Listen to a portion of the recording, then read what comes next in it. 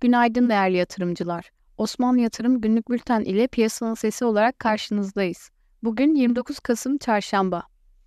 Güne 8115.99 seviyesinden başlayan BIST 100 endeksi gün içinde en düşük 8046.08, en yüksek 8149.44 seviyesinden işlem görürken günü 13.65 puan düşüşle 8093.54 seviyesinden tamamlamıştır. Aşağıda birinci destek seviyesi 8043 seviyesinde geçmekte olup son kapanış bu seviyenin %0.62 üzerinde gerçekleşmiştir. Yukarıda ise dirençler sırasıyla 8147, 8200 ve 8250 seviyelerinden geçmekte olup son kapanış öncelikli direnç seviyesinin %0.66 altında gerçekleşmiştir. 5 günlük hareketli ortalama 8025, 14 günlük hareketli ortalama 7922, 50 günlük hareketli ortalama ise 7916 seviyelerinden geçmektedir.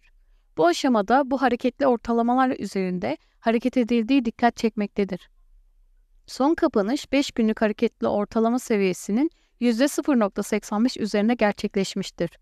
İşlem hacmi bir önceki işlem gününe göre %7.91 düşüşle 8 milyar TL düşerek 92.79 milyar TL düzeyine gerçekleşmiştir.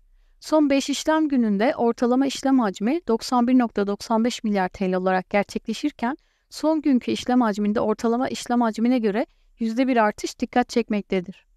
BIST 100 endeksi içerisinde 31 hissenin fiyatı artarken 65 hissenin fiyatı düşmüştür. 4 hissenin fiyatı ise önceki güne, gö- güne göre değişmemiştir. Herkese sağlıklı günler, bol kazançlar dileriz.